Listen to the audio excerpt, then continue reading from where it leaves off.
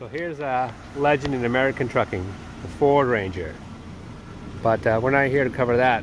Today we're here to cover a problem that's common with a lot of trucks, which is that there's no real way to tell that the tailgate is open uh, once you're actually inside the truck. Uh, because you can see the light, the door open light, goes away once I close this door right here.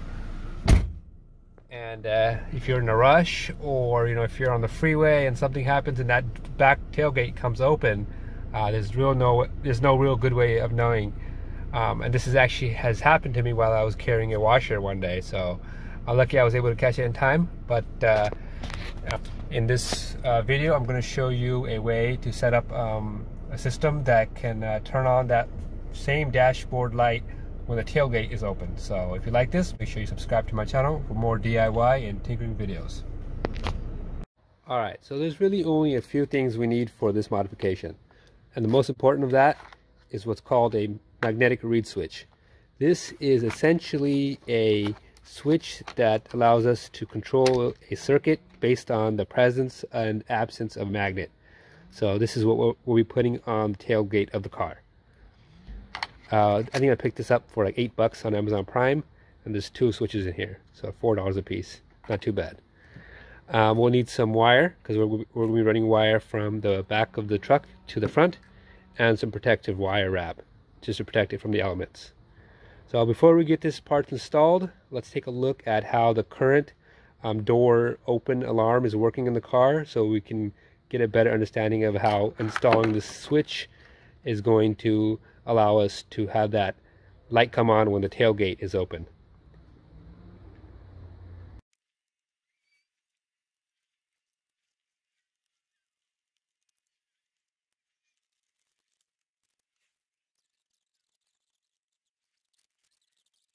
Alright, to get a better understanding of uh, how this uh, door open alarm or door open light works regularly, I went ahead and uh, unhooked it from the switch. And uh, so basically, when the door is open, this uh, circuit grounds out the 12 volt signal, and the body control module, or I think in this car it's called the GEM, when sees that, when when that signal goes to ground, it, it goes ahead and turns on that door open light. So basically, by unhooking it here, the light should not turn on despite being despite the door being open. And uh, we can see that by turning on the car. And you see that the light the door open light is not on. But uh, when we go ahead and uh, ground um, complete the circuit against by shorting the circuit. I'm trying to do this two-handed. Let me try to put this back on the so uh, when we try to when we short the circuit here by connecting the two lights that should turn that should once again send a signal back down to ground and it should turn our door open light back on. And as you can see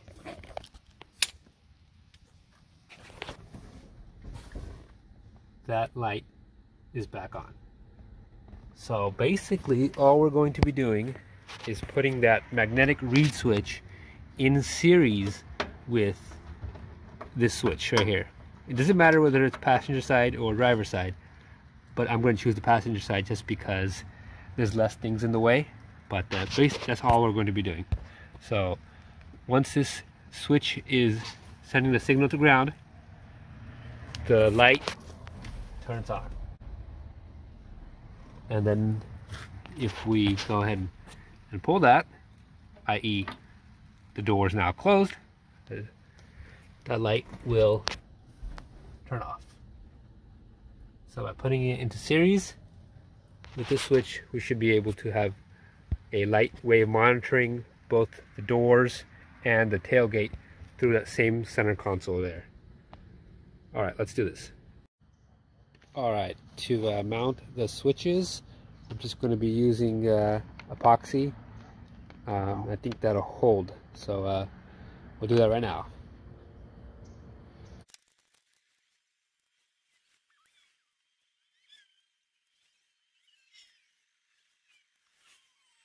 All right, so I used epoxy to get the switch and the magnet both mounted.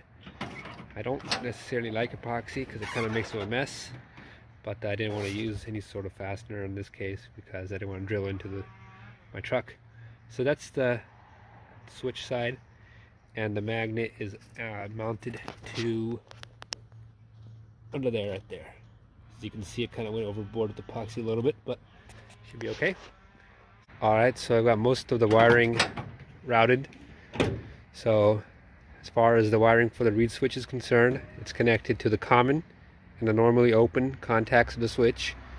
From there I've got it running through this uh, protective loom uh, through the back uh, tail light here and it goes underneath the car or the truck and into the cabin here and through a grommet. Uh, you can see it right there. Then uh, after that, we're going to be um, using uh, um, quick taps to uh, um, tap into the switch for the door open alarm. I believe in an earlier video I said that uh, I accidentally said that you want to put this uh, reed switch in series with the previous um, door switch, but uh, you want you definitely don't want to put it in, in series. You want to put it in parallel. I meant to say parallel.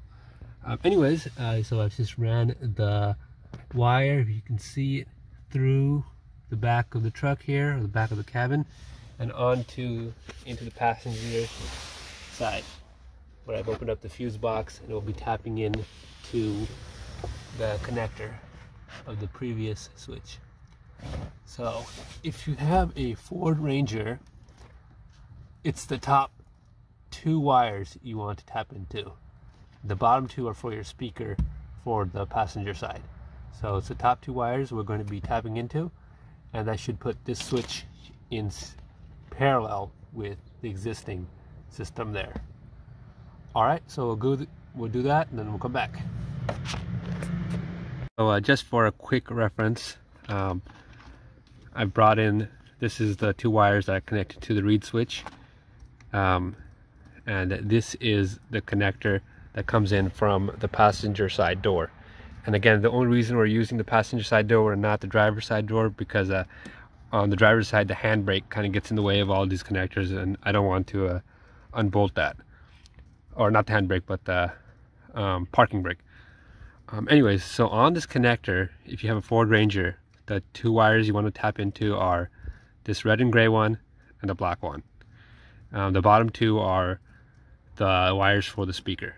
So we're going to go ahead and use uh, these uh, quick splices or quick taps just to tap into that and then connect it to our switch. Alright, so I used these quick taps um, to put that reed switch in parallel with the existing door open system. And so now we, once we plug this in, we should have a fully functional tailgate open um, light indicator that works with that same light that the door open light turns on. So, all right. So I got the panels back on and uh, everything plugged in. And the wires are almost completely hidden. Can hardly tell that the duct tape mechanic was actually in here. Well, aside from the mess. Alright, so now it's for the moment of truth. I've I've gotten the both the doors closed, driver's side and the passenger side, as well as the tailgate back there. That's also closed. And as expected, the light for the door open is off. So now we're gonna go back there and turn on, open the tailgate and uh, hopefully that light turns on.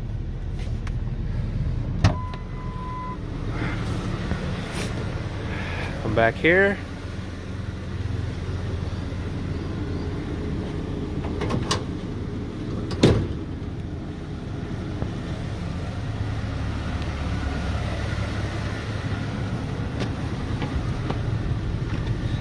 So it's on right now, but the door is also open. So we'll go ahead and close the door. And it's still on. So that means it works. And uh, now I'll never forget to close that door because the tailgate because every time I forget that light will be on. So uh, hopefully you like that. It's uh, I think it's a fairly unique idea. And uh, I bring I try to bring those type of unique ideas to my channel. So if you like that make sure you stay tuned for more um, tinkering and DIY videos. And as you can tell the passenger side door is also closed um, and just to be thorough we'll go ahead and uh, close that tailgate and see if this light goes away. And uh, you can tell back there. The tailgate is open. All right let's go close it.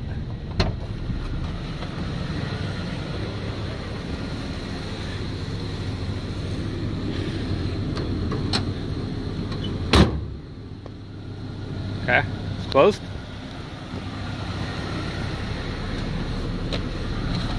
close this door as well. And that light's gone. Doors are closed. Over here as well. And tailgate's closed. All right hopefully you like this video